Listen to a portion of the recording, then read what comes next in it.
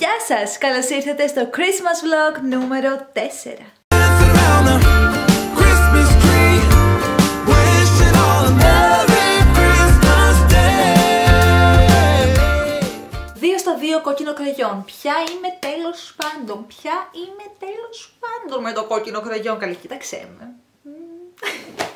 Τι μου κάνετε παιδιά, πώς είστε; Ξεκίνησε λοιπόν η σεζόν που για background έχουμε χριστουγεννιάτικο δέντρο. Έχω πολύ καιρό να δημιουργήσω περιεχόμενο για το Instagram γιατί πραγματικά έξω γίνεται χαμός όπου χιόνι. Και δεν είναι πάρα πολύ πρακτικό το να βγεις έξω με το τρίποδο και το χρονόμετρο για να βγεις φωτογραφίες. Έχει πάρα πολύ κρύο, πάρα πολύ χιόνι, οπότε δεν είναι και ό,τι πιο βολικό. Και αν στο προηγούμενο βίντεο σας είπα πως έχει πάρα πολύ χιόνι, όχι κάνω λάθος, σε αυτό το βίντεο έχει πάρα πολύ χιόνι. Πάντως το σπίτι μας είναι δίπλα στο δάσος, οπότε έχω τη δυνατότητα να βλέπω από το παράθυρό μου τη φύση και είναι ό,τι καλύτερο ξυπνώντας να βλέπεις τα δέντρα. Για μένα βασικά. Είναι ό,τι καλύτερο και νιώθω full ευγνωμοσύνη που έχω τη δυνατότητα το πρώτο πράγμα που βλέπω με το που ανοίγω τα μάτια μου να είναι φύση και δέντρα. Δηλαδή πραγματικά συγκινούμε που βλέπω δεντράκια.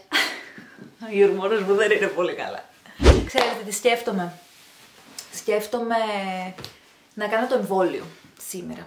Δεν έχω εμβολιαστεί ακόμα και τώρα μπορώ να το κάνω εδώ στη Γερμανία γιατί πλέον είμαι και επίσημα κάτοικος της Γερμανίας. Ναι! Είμαι πάρα πολύ χαρούμενη γι' αυτό, οπότε έχω τη δυνατότητα να κάνω και αυτό και ξέρετε έχω όλα τα δικαιώματα πλέον. Πήγα τις προάλλες στο Δημαρχείο και δηλώθηκα στο κράτος, οπότε μπορώ να κάνω και το εμβόλιο, το οποίο μπορώ να σας πω ότι φοβάμαι πάρα πολύ. Αλλά έτσι όπως είναι η κατάσταση δεν μπορείς να κάνεις τίποτα. Βασικά, εγώ γενικά δεν μπορώ να κάνω τίποτα εδώ και πάρα πολύ καιρό. Και να ήμουν πλήρως εμβολιασμένη πάλι θα φοβόμουν, γιατί γίνεται χαμός. Είναι πάρα πολλά τα άτομα που γνωρίζω που είναι πλήρως εμβολιασμένα και έχουν ξανακολλήσει κορονοϊό. Οπότε γι' αυτό το λόγο είμαι διαρκώς στο σπίτι. Τέλος πάντων, δεν θέλω να σας απασχολήσω περισσότερο με αρνητικά πραγματάκια και ούτε θέλω να γίνει κάποια συζήτηση. Ξέρετε, ο καθένας έχει τη δική του προσωπική γνώμη και άποψη και ο καθένας έχει το δικαίωμα να κάνει ό,τι θέλει. Θα σα ενημερώσω όμως πώς θα είμαι και πώς το πάρει ο οργανισμός μου. Πριν όμως από όλα αυτά, θέλω να πάρω μία βιταμίνη, να βιταμινωθώ για να έχω επειδή μου δυνατό νοσοποιητικό σύστημα. Ρε ξέρετε τι, σας είπα ότι έχω σε προηγούμενο vlog μία δεύτερη βιβλιοθήκη να φτιάξω και την ανοίξαμε και είναι άλλα ντάλλον. Δηλαδή είχε, αυτή, αυτή η βιβλιοθήκη αποτελούνταν από δύο κουτιά, από δύο μέρη και στο δεύτερο κουτί έχει παρόμοια ξύλα με το πρώτο κουτί. Δηλαδή, ενώ η βιβλιοθήκη έχει δύο σιρτάρια, εμείς έχουμε τέσσερα σιρτάρια. Τέλος πάντων, και τελικά έχουμε μείνει με κάτι ξύλα εδώ, πήραμε τηλέφωνο στα, κεντρικά, στα κεντρικά κτλ. Και, και τώρα περιμένουμε ενημέρωση για να μας πούν τι τελικά θα γίνει, Πού να σας πω κάτι, δεν θέλω ούτε να μου κάνουν πλήρη refund, δεν θέλω να πάρω τα λεφτά μου πίσω. Γιατί χρειάζομαι τη βιβλιοθήκη και δεν υπάρχει στο site πλέον. Και να σημειώσω εδώ πως δεν το πήραμε που έκανα μαγαζί, ότι να είναι που δεν έχουν καλές κριτικές και τέτοια. Είναι μαγαζί με έπιπλα. Αυτό καθε αυτό μαγαζί με έπιπλα. Τέλος πάντων, δεν υπάρχει ούτε στην ιστοσελίδα του σε συγκεκριμένη βιβλιοθήκη. Τώρα να, με τα κουτιά εδώ. Αυτό που υπάρχει στην σελίδα τους. Μισό λεπτό να στήσω την κάμερα βασικά. Αυτό που υπάρχει στο site τους είναι κάτι σαν βιβλιοθήκη κοντή. Δηλαδή μισή, δεν, είναι, δεν ξέρω να δεν είναι ακριβώς βιβλιοθήκη, δεν ξέρω ούτε καν πώς να το ορίσω. Τέλος πάντων, είναι ρε παιδί μου ως εδώ, μέχρι, από τα σιρτάρια και κάτω, που αν δεν υπάρχει ή δεν μπορούν να μας αντικαταστήσουν τέλος πάντων το λάθος και τη ζημιά, θα τους πω να μου φέρουν τη μισή βιβλιοθήκη με ένα, με ένα πραγματάκι, που, που, δεν ξέρω τα έπιπλα ε, με ένα τέτοιο με ροδάκια που έχει τρία σιρτάρια και μπαίνει κάτω από το γραφείο, καταλάβατε; Και έτσι θα έχουμε πλήρη ανταλλαγή των αντικειμένων και βγαίνει και ακριβώς στην uh, τιμή το ίδιο. I'm an accountant. I'm an accountant. Γιατί ήρθα στην κουζίνα; Για να πιω βιταμίνη, το οποίο και ξέχασα.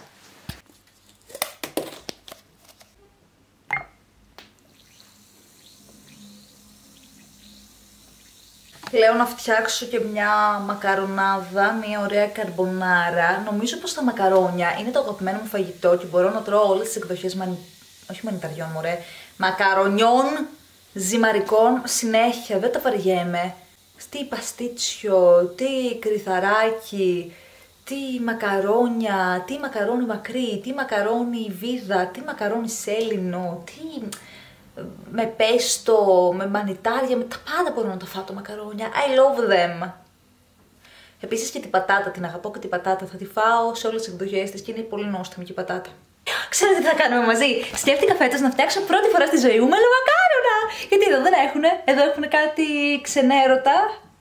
Βασικά απορώ αν οι Γερμανοί έχουν φάει ποτέ τους μελομακάρονα και εξακολουθούν να επιλέγουν κάτι άλλα γλυκά σαν μπισκοτάκι που δεν ξέρω κάτι έχει μέσα. Τέλος πάντων, σκέφτομαι να φτιάξουμε μελομακάρονα. Πήρα τη συνταγή χθες της μαμάς μου, συμβουλεύτηκα και τον Άκη.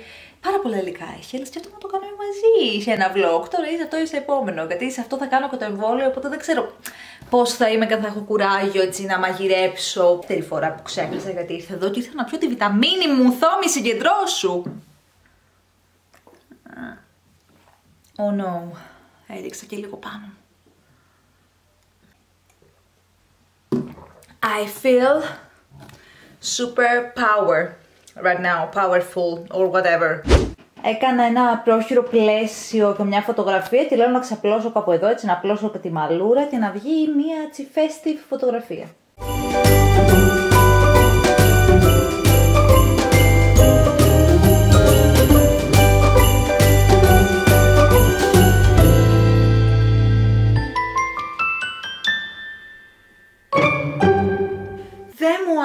Πολύ η φωτογραφία, ήταν πάρα πολύ μέτρια, αλλά γενικά είναι full δύσκολο το να βγεις μόνος σου με την κάμερα από πάνω και επιπλέον τις φωτογραφίες στο σπίτι τις συχαίνομαι γιατί μου παίρνουν ακραία πολύ χρόνο σε σχέση με τις εξωτερικές και δεν, δεν ξέρω γιατί νομίζω δεν βρίσκω το φωτισμό, τη γωνία, το ύψος της κάμερας ενώ έξω έχω μάθει πλέον σε πιο ακριβώς ύψος στείνω το, το τρίποδο για να βγω και ψηλή. Και ναι, γενικά με δυσκολεύουν και μου χάλασε τη διάθεση τώρα. Πάω να φτιάξω μακαρόνια. Και βασικά θα βγάλω το κόκκινο κραγιόν γιατί δεν ξέρετε πόσο με ζορίζει. Δεν μπορείτε να το καταλάβετε τώρα που σας το λέω. Ενώ νομίζω ότι μου πάει και με φωτίζει, με ζορίζει απίστευτα πολύ. Μόλις γύρισα από το εμβόλιο. Εδώ το έχω. Ε, η αλήθεια είναι ότι δεν κατάλαβα τίποτα. Εντάξει, μια μικρή βελονίτσα είναι, αλλά δεν είδα και τίποτα. Γύρισα από την άλλη μεριά, τους έλεγα ότι είμαι από Nord Griechenland και δεν είδα ούτε ένεση ούτε τίποτα γιατί γενικά εγώ έχω ένα ακραίο φόβο με τους ε, γιατρούς και γενικά όλα αυτά. Ο, δεν τα θέλω καθόλου. Καθόλου. Τώρα ας πούμε έχω μια μικρή ενόχληση που όμως δεν μπορώ να καταλάβω αν είναι όντως το εμβόλιο ή μου είναι ψυχολογικό γιατί και πριν πάω ο εγκέφαλός μου λειτουργούσε στο Έχεις άγχος, γιατί δεν έχεις άγχος; Πας να κάνεις κάτι σοβαρό. Μήπως τώρα να αγχωθείς, μήπως πρέπει να αγχωθείς; Νομίζω ότι πρέπει να αγχωθείς. Προληπτικά, ρε παιδί μου, λέω να πάρω έτσι ένα τεπωνάκι και να ξέρω αυτό και να κάτσω να χουχουλιάσω στο Netflix. Επίσης δεν μπορώ καθόλου με αυτόν τον άσχημο φωτισμό. Θέλω να σταματήσω το βίντεο τώρα. Ώρα για update εμβολίου. Είναι η μεθεπόμενη μέρα από τότε που το έκανα. Βασικά είμαστε στο τρίτο 24ωρο. Οκ, το πρώτο 24ωρο ήταν για μένα το χειρότερο. Δεν είχα κάτι ιδιαίτερα δύσκολο. Δηλαδή, ότι ανέβασα πυρετό. Ε, ούτε έτσι. Δεν. Απλά είχα έντονη ατονία και έτσι κάποιες ζαλάδες. Ένιωθα σαν να έχω πάρει ηρεμιστικά, χωρίς να έχω πάρει βέβαια ποτέ στη ζωή μου. Ένιωθα πολύ άτονη, όπως σας λέω, σαν το μυαλό μου να μην ήταν πολύ καλά συγκεντρωμένο, οπότε ένιωθα ότι συνέχεια νιστάζω και δεν είμαι για πολλά πολλά. Πήρα βέβαια τις βιταμινούλες μου, πήρα τον τεπών μου και αυτό. Το δεύτερο 24ωρο δεν κατάλαβα τίποτα, τίποτα πολύ, δηλαδή σχεδόν και το χέρι μου είχε περάσει από τον πόνο και ούτε καν με πόνεσε πάρα πολύ όπως ακούω από άλλα άτομα που δεν μπορούσαν ούτε καν να το σηκώσουν. Εμένα με πόνεσε ελάχιστα, σαν να έχω πιαστεί από το γυμναστήριο κάπως. Γενικά περίμενα μήπως ήμουν και πιο χάλια, γιατί έχω και γνωστούς μου εννοείται, που δεν το πέρασαν εύκολα, αλλά θεωρώ πως παίζει ρόλο και η ομάδα αίματος το λένε για κάποιο λόγο. Εγώ έχω μηδέν αρνητικό. Ε, το μηδέν αρνητικό, χτύπησα τον υπολογιστή μου που δεν έχω εδώ. Το μηδέν αρνητικό λένε ότι αντιδράει λίγο πιο ήπια. Οπότε και με την αδερφή μου και τον μπαμπά μου που έχουμε την ίδια ομάδα αίματος, ε, περάσαμε ακριβώς το ίδιο πράγμα. Τίποτα. Λίγο ατονία και. Νι, αυτό. Την αλήθεια όμως να την πω ότι εκείνη τη μέρα που με πιάσε αυτή η ατονία και ζαλάδα, ε, δεν μπορούσα να κάνω τίποτα δεν μπορούσα να επικοινωνήσω πολύ. Ήθελα μόνο, σας αφήστε με, είμαι καλά, δεν είμαι, αυτά. Επίσης αποφάσισα ότι θα φτιάξουμε σε αυτό το βίντεο μελομακάρονα και πάμε αμέσως να τα ξεκινήσουμε. Έρμα τώρα τα αρνητικά πράγματα, μόνο θετικά vibes εδώ. Λοιπόν, Πήρα συνταγή μαμάς, πήρα συνταγή Άκη και φύγαμε να φτιάξουμε για πρώτη φορά στη ζωή μας μελομακάρονα. Πρώτη φορά στη δική μου τη ζωή θα φτιάξουμε μελομακάρονα γιατί εσείς μπορεί να φτιάχνετε χρόνια. Αλλά εν πάση περιπτώσει θα μου κάνετε παρέα στα μελομακάρονα. Αυτή η μπάλα μου πήρε τη ζωή, νομίζω. Έπεσε και λέω πάει, είναι πνεύματα που με παρακολουθούν, κάτι paranormal μου συμβαίνει, αλλά όχι απλά έπεσε μία μπάλα από το δέντρο.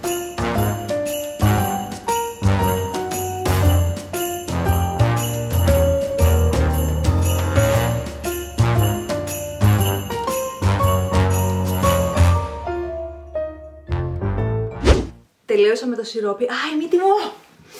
Και το άφησα να κρυώσει γιατί ο φίλτο Άκης λέει ότι θέλει 3 με 4 ώρες να κρυώσει τελείως το σιρόπι. Βέβαια, εγώ το έχω αφήσει στο παράθυρο με κάτι καλυμμένο από πάνω για να μην πούνε μιγάκι και το έχω σε ανάκληση για να μας γίνει τη δουλειά λίγο πιο γρήγορα. Είμαι στη διαδικασία που μαζεύω τώρα τα υλικά. Θα δείχνω τώρα αυτά, είναι λίγο βαρετό. Εδώ, ας πούμε, έχει αλεύρι και σιμιγδάλι. Και σε αυτό το μπολ θα βάλουμε τα υπόλοιπα υλικά γιατί ο Άκη θέλει να χρησιμοποιήσουμε δύο μπολ. Γίνεται ένας χαμός εδώ. Λοιπόν, έχουμε ζάχαρη, χυμό πορτοκάλι.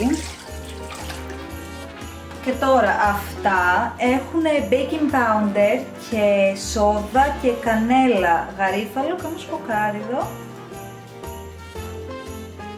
Τι δεν έχουμε βάλει, λάδι, που θέλεις σπορέλαιο. Μισό λεπτό εδώ έχω το ζυγαριά. Αυτό είναι πάρα πολύ λάδι, παιδιά. Α, Πάρα πολύ λάδι. Ας ανακατέψουμε τώρα. Α, με σύρμα θα τα κάνουμε, ωραία. Κοιμάμαι όρθια.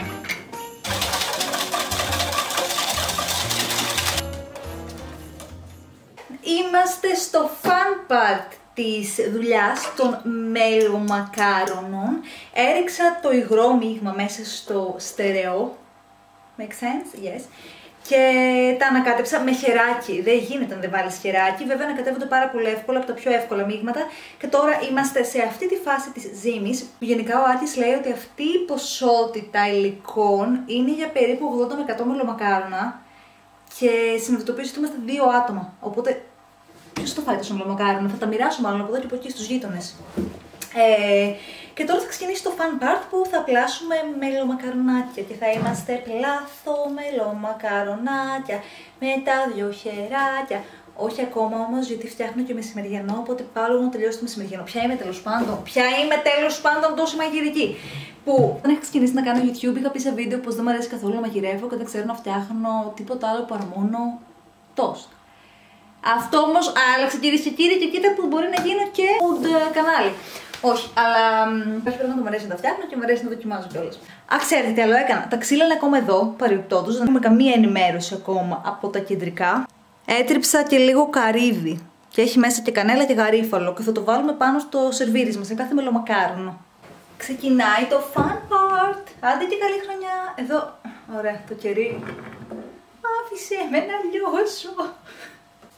Αχ, μακάρι ρε παιδιά να βγουν ωραία. Τόσο, ας πούμε.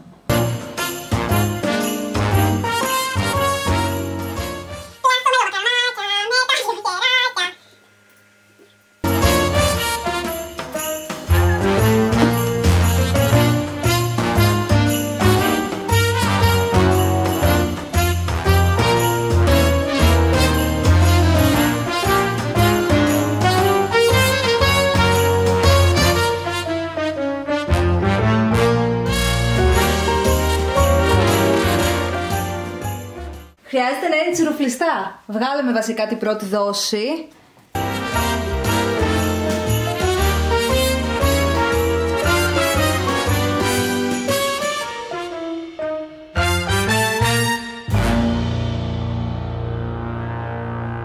Πόσο λαχταριστά φαίνονται. Έτσι με το zoom. Zoom, zoom. Τα αφήσαμε λίγο να στραγγίξουν. Θα κάνουμε τη δεύτερη δόση, την τρίτη δόση, την τέταρτη δόση και γενικά τις δόσεις και θα τα πούμε στο τέλος. Πριν σας έδειξα μία μπάλα που έπεσε από το δέντρο, εν τέλει πήγα να την ξανακρεμάσω και στο διάστημα που την αφήνω για να δω αν στηρίζεται έπεσε και έγινε χίλια κομμάτια. Σαν να μην έφτανε όλο αυτό. Μετά από 5-10 λεπτά έπεσε όλο το δέντρο και έσπασαν ένα σωρό στολίδια. Έχω χεστεί πάνω. Όχι κυριολεκτικά, έχω το τρομάξει. Γιατί να πέσει και σπάσανε εκτός το λόγιο, στενοχωρήθηκα πάρα πολύ. Και τώρα τα κρεμάσαμε κάπως κακή κακός. Δεν ξέρω γιατί συνέβη αυτό. Επίσης διάβασα ότι επειδή είναι αληθινό δέντρο χρειάζεται και πότισμα. Και δεν το ξέρω. Τέλος πάντων, όμως έχω εδώ τα μελομακάρονα. Τελειώσαμε μετά από 2-3 ώρες. Εν τέλει βγήκανε τρία ταψιά, νομίζω 60 μελομακάρονα, γιατί εγώ τα έκανα λίγο πιο έτσι χοντρούλικα, γιατί βαριόμουν να παίζω. Για να μην σας λέω ψέματα, δοκίμασα ένα πολύ μικρούλι πριν για να δω αν πέτυχαν. Πέτυχαν. Όμως πάμε να δούμε τώρα που έχω βάλει και το μελάκι από πάνω και το. εμ, το καρύδι με την κανέλα. Μμμ. Φανταστικά. Νομίζω ότι τα άφησα λίγο παραπάνω ώρα μέσα, δηλαδή είναι αρκετά τραγανά από έξω. Άμα σας αρέσουν, καλώς. Εγώ έχω συνηθίσει να τα τρώω πιο αφράτα και από έξω. Καλό. Πάντως ο είναι φανταστικά. Μμμ. Και κάπου εδώ αγάπες μου, εγώ λέω να σας αφήσω. Είμαστε ακόμα μπροστά από χριστουγεννιάτικο δέντρο. After all, σας άρεσε αυτό το βίντεο και έτσι που τα είπαμε λίγο και φτιάξαμε και τα μελομακάρονα και πέτυχα. Ξεχάσετε να κάνετε μια εγγραφή εδώ στο κανάλι μου, να πατήσετε και το καμπανάκι, να μου αφήσετε και ένα like, γιατί θα τα πούμε και στο τέλος της εβδομάδας με ένα καινούριο Christmas vlog. Οπότε μέχρι την επόμενη φορά να προσέχετε και να περνείτε τέλεια. Σας φιλώ!